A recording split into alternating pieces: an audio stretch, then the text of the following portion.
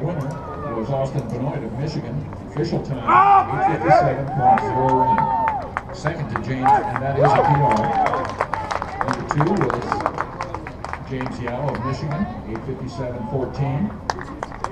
And third, Adam Visokay of Virginia, he PR'd also, 912.99.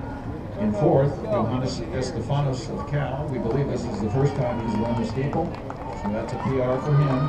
915.46.